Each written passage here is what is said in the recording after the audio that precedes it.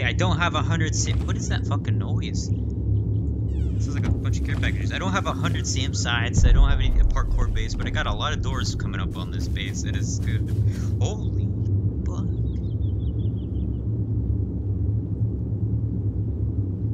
I'm gonna die.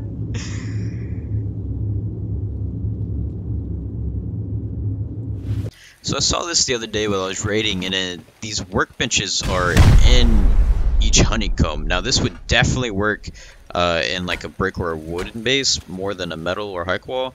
But basically, these workbenches are acting like a shock absorber, and they're not damaging the walls as much as they should. Also, if there is loot in the room, you still got to go through a whole other workbench, so it's basically a double wall. Pretty sick. I don't know what it is about SAM sites, but I really love them.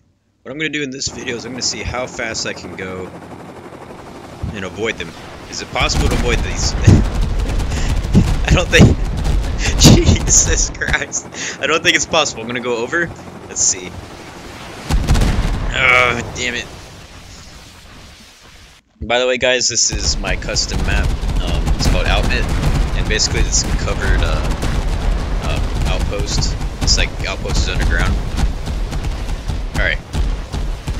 So I spawned a bunch of mini copters. Alright, let's do this. Dude, this is gonna break the game. Oh! Holy crap! Oh my god.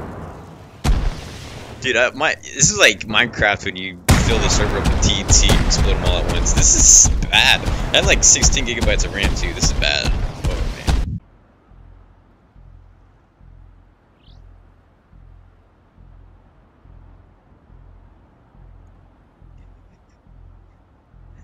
Sneaking up on this guy.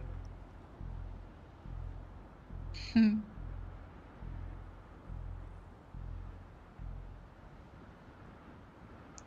Psst. Psst. Hey you. Hey. Did I scare you? Did I scare you? Uh, not really. I was hoping I'd scare you. You kind of did, honestly. Walking around and I uh was messing around on my up and coming Rust map and I was like, oh my god, what happened to my Nvidia settings? Like, oh, what kind of drivers are I update? And I realized, oh, I am radiated out of my mind. so this is what it looks like right before you die. The world becomes super grainy.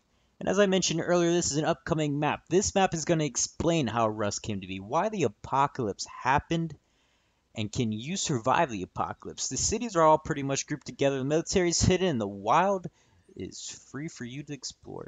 Good luck and have fun.